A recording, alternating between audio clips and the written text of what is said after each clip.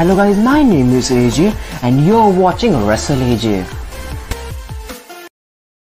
So so guys जैसे कि मैंने आपको बोला था कि जो डैनियल बैन और एडम कॉल है गाइस वो हमको मोस्ट प्रॉब्लम यानी जल्दी ए डब्ल्यू में उनका डेब्यूट करते हुए दिखने वाले और गाइस आज वो बात सच होते रहेगी क्योंकि आज के ए डब्ल्यू के ऑल आउट के पेपर में गाइस हमको दिखा दो बड़े डेब्यू बोल सकते गाइस बहुत ही शॉकिंग चीज़। और वो थे Daniel Bryan and Adam Cole का A E W debut guys आज के ऑल आउट ए के ऑल आउट के पेपर में गाइस डैनियल बैन और एडम कॉल दोनों ने उनका ए ई डेब्यूट किया। और पूरे प्रो रेसलिंग वर्ल्ड को शॉक कर लिया। सो so, बस पूरा डिटेल जानने के लिए ये वीडियो को आगे आज की वीडियो बहुत इंटरेस्टिंग होने वाली है। अगर आप डब्ल्यू डब्ल्यू डैनल बैन और एडम कॉल के बड़ा वाले फ़ैन हो और हमारे चैनल को भी सब्सक्राइब कर लीजिए।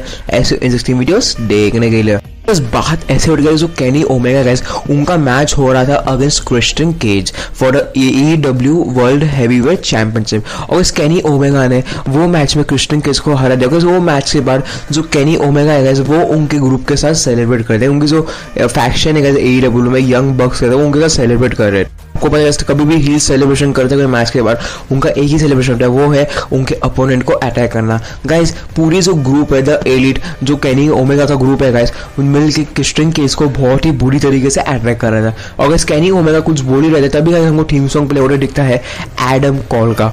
क्राउड ने एक बहुत ही बड़ा पॉप दिया।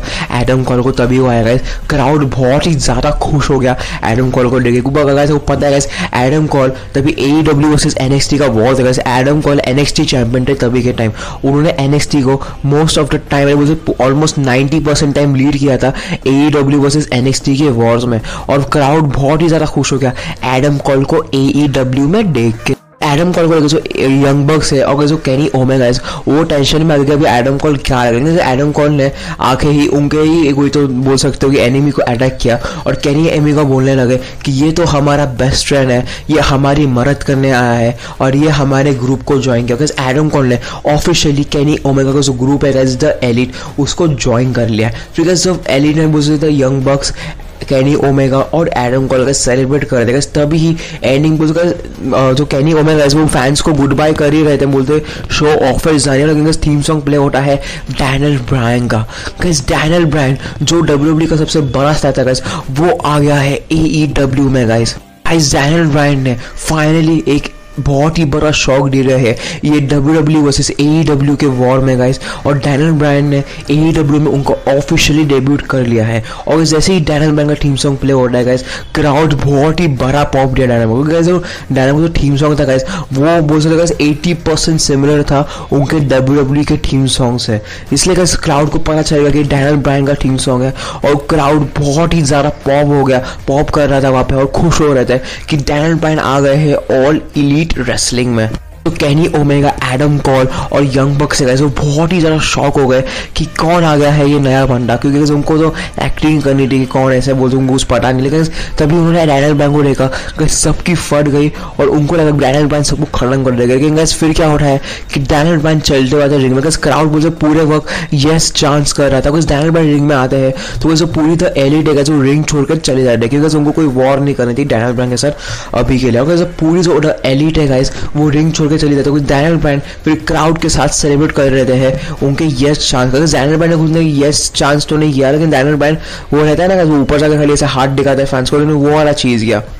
रोज आता है ऑफ़ एयर कैसे जैसे ही show off air Daniel Bryan ने कुछ बड़े बड़े बातें रिवील किए कि क्यों वो आए हैं ऑल इलीट रेसलिंग में। बिकॉज़ डैनल ब्रांड ने वो फैंस को बोला कि वो सबसे बड़े फ़ैन है रेसलिंग के। और वो आज तक जो भी कंपनी में गए हैं, जैसे कि W W R O H उनको एक ही मोटिव रहा है और वो है रेसलिंग और वो ए डब्ल्यू में एक ही मोटिव से आए हैं क्योंकि उनको रेसलिंग से बहुत ही ज़्यादा प्यार है और उनको चाहिए कि वो सब जगह रेसलिंग उन्होंने देखा कि ए डब्ल्यू में बहुत ही बड़े बड़े अच्छे टैलेंट्स है, जो रेसलिंग अच्छा कर डैनल बैंक को चाहिए कि ये टैलेंट्स के साथ रेसल करे। इसलिए डैनल बर्न ने बोला, वो ए डब्ल्यू में आए हैं।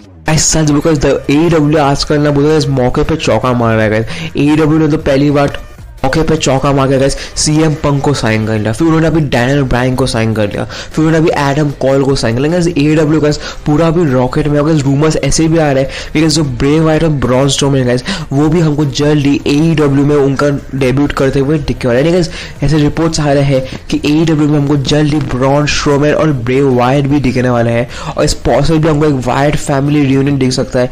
ए डब्ल्यू जो हमको रिपोर्ट्स आए वो है कि ए डब्ल्यू प्लान कर रहे हैं। ब्रेव वाइट ब्रॉन स्ट्रोमेन और एरिक रोबन को ए e में रखे द वाइट फैमिली फिर से कराए वो वाइट फैमिली कितना बड़ा सक्सेस था। लेकिन ए डब्ल्यू प्लान कर रहे हैं कि अभी टैलेंट ब्रांड सी एम और एडम को लाने के बाद अब वो लेके आएँगे। वाइट ब्रॉन स्ट्रोमन और एरिक रोवन को एडब्ल्यू में। कैसे बोल सकते एडब्ल्यू अभी बहुत ही मौके पर चौका मार रहा है और उनको पता चल गया है कि अभी वो भी गेम में आ रहे कैसे पहले पहले आपको पता है डब्ल्यू डब्ल्यू में सब बड़े स्टार्स थे और ए डब्ल्यू को कोई था ही नहीं। इसलिए कैसे डब्ल्यू डब्ल्यू हमेशा सबसे अपर है मतलब अभी ए डब्ल्यू में कितने बड़े बड़े स्टार्स आ गए। एक तो सी एम पंक फिर डैनल ब्रायन फिर कैसे डीन एम्ब्रोस ए डब्ल्यू भी बड़े बड़े स्टार्स से भरा हुआ है और ए डब्ल्यू जल्दी लाइनमेट में आ रहा है। और अगर जो क्रिस जेरी को जो ए e में काम करते रहे उन्होंने ये भी क्लेम कर दिया है कि वो छः से चार महीनों के अंदर रॉ को रेटिंग्स में बीट करने वाला है। गैस स्टेट में बहुत ही बड़े गैस जो ए डब्ल्यू अभी अभी आई है और जो रॉ है गैस को फ्लैगशिप शो वो बहुत ही सालों से। और गैस क्रिस जेरिको ने क्लेम किया है कि वो जल्द ही बोल छः से चार महीनों के अंदर रॉ को रेटिंग्स में बीट करने वाले हैं ऑल इलीट रेसलिंग यानी गाइस अभी जो ए डब्ल्यू है गाइस वो बहुत ही बड़ा कॉम्पिटिशन दे रहा है डब्ल्यू डब्ल्यू वाले को कि अगर सर उन्होंने कुछ अच्छा प्रोडक्ट नहीं दिया फैंस को तो ए डब्ल्यू टेक ओवर कर लेंगे। गाइस आपको पता है जो ब्रॉक लेजर है गाइस जिन्होंने उनका रिसेंटली ही रिटर्न किया समर साल में गाइस उनका भी रिटर्न गाइस विंस मैकमैन ने ए डब्ल्यू के वजह से किया भाई पता है गाइस जो समर स्लैम के एक नाइट पहले गाइस सी एम पंग ने ए डब्ल्यू में उनका डेब्यूट किया था और पूरा प्रो रेसलिंग वर्ल्ड पागल हो गया था सी एम पंग को फिर से देख लेकिन बात विंस मैकमैन को थोड़ी भी पसंद नहीं आई कि सी एम पंक सब जगह ट्रेंडिंग है। इसलिए गाइज़ विंस मैकमैन ने लास्ट मोमेंट पे ब्रॉक लेजर को एक कॉन्ट्रैक्ट ऑफ़र किया और उन्होंने ब्रॉक लेजर का रिटर्न कराया समर स्लैम ट्वेंटी वन के इवेंट में।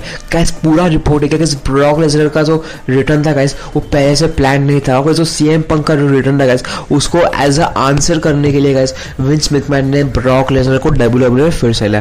गाइज़ वीडियो खत्म करने के लिए एक बोनस अपडेट भी है। गाइज़ आपको पता है सुपर सुपरस्टार थी रूबी रायट गैस उन्होंने भी आज के ए डब्ल्यू e के एपिसोड में गैस उनका डेब्यूट कर लिया। गैस उन्होंने उनका पहला मैच भी रसल किया। गैस ए डब्ल्यू में कसिनो बैटल रॉयल नाम का एक ये था गाइस मैच और इस वो मैच के वक्त गाइस रूबी रायट ने उनका ए डब्ल्यू डेब्यूट किया। और गैस रूबी रायट ने उनका नाम चेंज करके अभी रूबी सोहो रखा है। गैस जो रूबी है हम जो हम लोग जो उसको डब्ल्यू में रूबी राइट के नाम से जानते हैं गैस अभी उनका नाम है ए डब्ल्यू में रूबी सोहो और उन्होंने ऑफिशियली ए ई डब्ल्यू के साथ साइन कर लिया है।